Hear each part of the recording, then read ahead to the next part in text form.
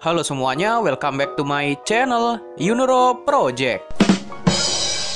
Pabrikan Lambretta baru-baru ini merilis motor terbaru untuk melengkapi line-up V Special versi 2022.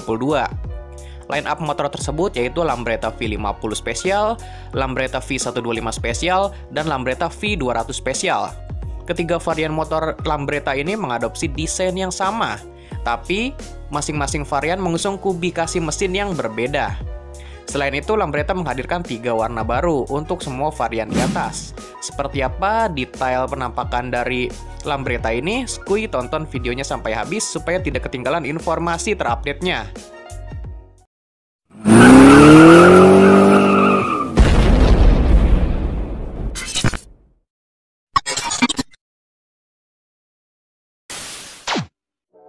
Melansir dari iwanbanaran.com, untuk desainnya semua line up Lambretta V ini mengusung desain klasik dengan bahasa desain yang diadaptasi dari Lambretta model lama.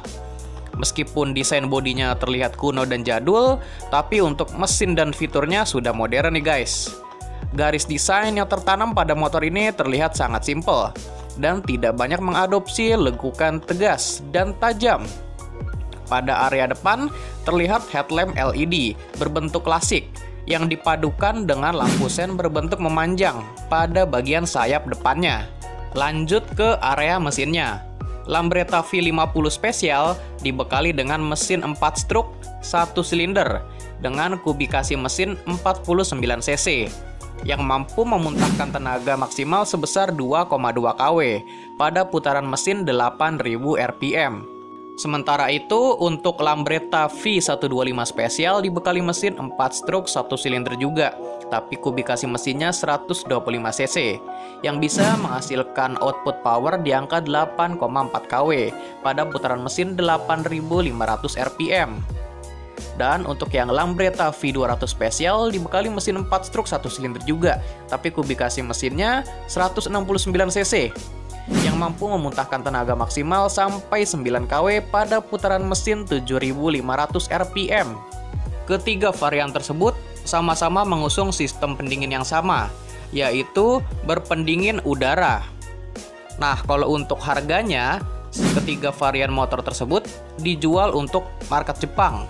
Baru market Jepang aja nih teman-teman.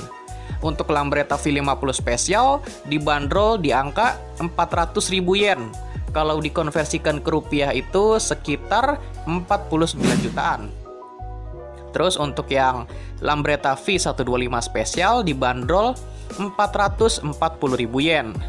Kalau dikonversikan ke rupiah itu sekitar 54 jutaan. Dan untuk yang Lambretta V200 spesial dibanderol 480 ribu yen. Kalau dikonversikan ke rupiah itu jadi 59 jutaan. Untuk pilihan warnanya tersedia tiga opsi warna baru, yaitu hitam, kuning, dan hijau doff. Ketiga warna tersebut tersedia untuk masing-masing varian line up Lambretta V Special versi 2022. Kalau menurut teman-teman gimana nih tentang Lambretta V Special 2022-nya? Silahkan jawab di kolom komentar. Motor ini cocok banget ya untuk jadi pesaing Vespa karena dari desainnya tuh udah Itali banget skuter ini. Oke deh, gue rasa cukup sampai di sini dulu informasi yang bisa gue sampaikan.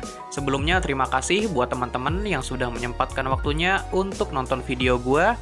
Jika video ini bermanfaat, jangan lupa di like dan share. Terus kalau teman-teman punya masukan atau saran buat konten atau channel ini, bisa bantu di komen aja. Dan yang terakhir, jangan lupa di subscribe dan nyalakan loncengnya supaya teman-teman mendapatkan notifikasi terupdate kalau gue ada upload video terbaru. Atau teman-teman bisa juga follow Instagramnya di @yunoroproject. Karena sebelum gue upload ke YouTube, pasti akan gue informasikan atau gue posting dulu di Instagramnya. So, di Instagramnya nanti bakalan lebih up to date. Oke deh, gue rasa itu aja dulu ya. Sampai berjumpa di video seputar roda 2 dan apparel riding berikutnya. Thank you semuanya.